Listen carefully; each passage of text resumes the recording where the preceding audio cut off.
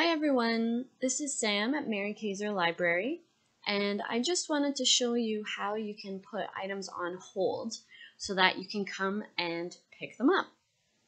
So first you can go to Google if it's your first time doing this and you're going to search for NWT Public Library Services Catalog.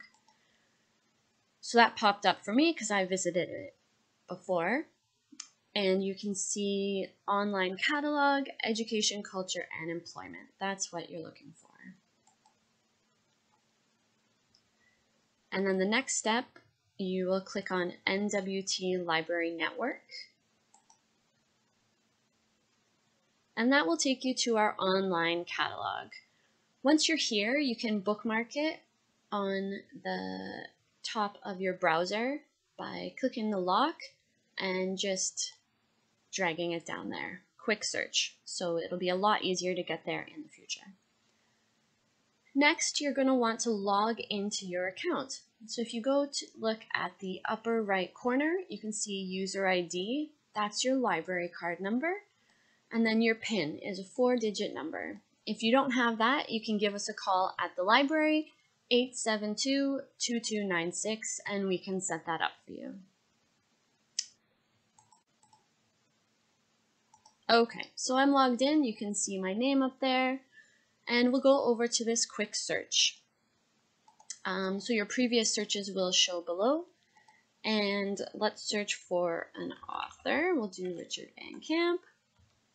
Um, you can just leave it on words or phrases, or you can get more specific by searching for author, title, subject, or series. Or if you know the exact book you're looking for, you can search the ISBN. To make your search easier, you can filter it down to which library you're looking at. So if you want to pick it up today or tomorrow, then you can look for Mary Kaeser Library, Fort Smith, select that, and then we'll press search.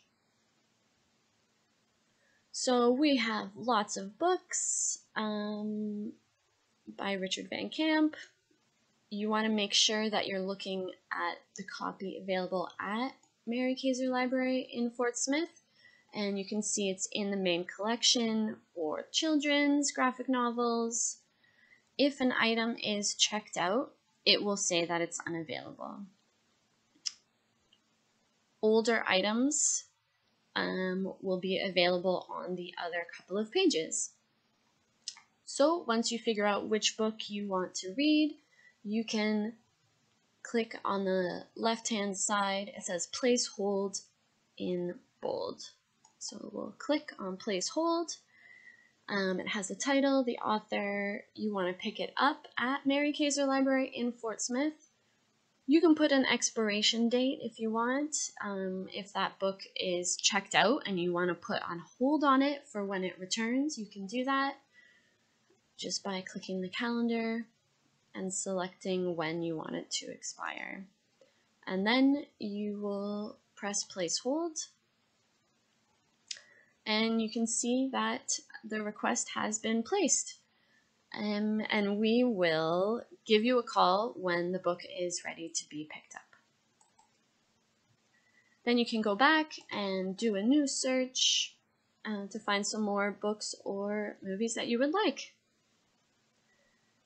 We are open for uh, parking lot pickup at this time and give us a call 872-2296 if you have any questions or need some more help.